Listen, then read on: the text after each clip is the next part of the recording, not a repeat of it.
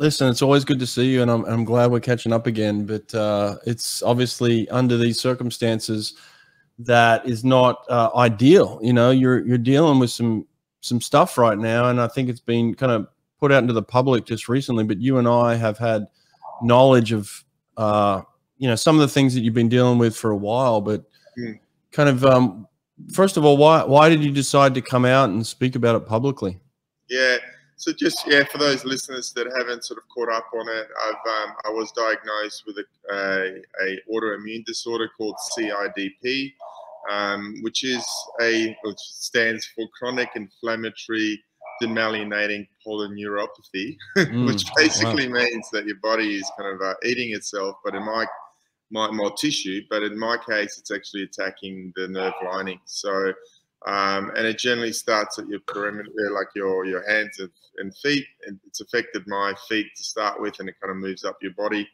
Um, so yeah, I've lost a fair bit of function and mobility, and um, and just yeah, overall kind of um, fatigue, and it's it's sort of you know it affected me greatly. Like um, you know, just basic things like just getting around pool deck and um, moving around just from you know I have to re really like plan everything that I do from where I park the car to you know even what gate I get off at at the airport or things like that. So it's um it's it's been a pretty tricky time to to try and shift my identity and try and shift my sort of focus and you know try and make something positive out of it. But it's definitely a, a really sort of tricky uh, tricky time for not just myself but everyone around me, from family and friends and my loved ones. So um, we've all had to adapt. So yeah, it's. Uh, so in that time since you know since we last spoke and um, you know things even last year I was in kind of a, an kind of remission stage.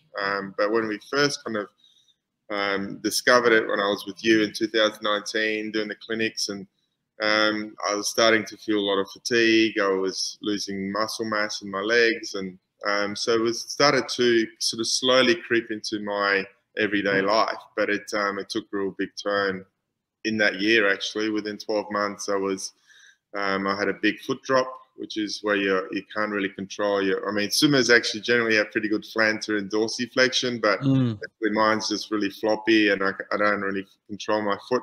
So um, yeah, I've started having to wear um, special sort of braces. It's called AFOs to keep my my toes up so I don't trip up over myself, and I'm using a walking stick or, or crutches. But um, yeah, so it's been a pretty pretty challenging period. But the reason I decided to um, to come out with it publicly. It's probably two or three reasons, to be honest. One is that I was being asked a lot of questions, what's wrong, mm. and you know, most of the time I could get away with saying, "Oh, it's my back," or "It's still my ankle," or but it got to a stage where people could visibly see that there was something wrong with my legs. They mm. sort of mm. faded away to a pretty, you know, I was I had generally fairly big calves for a swimmer, and they kind of disappeared, which was a bit of a shame. And then um, yes, and also I started. You know, COVID was a good excuse for me not having to, you know, turn up to things, or there was a great excuse. And um, and now COVID is over, I've started saying no to a lot of requests, and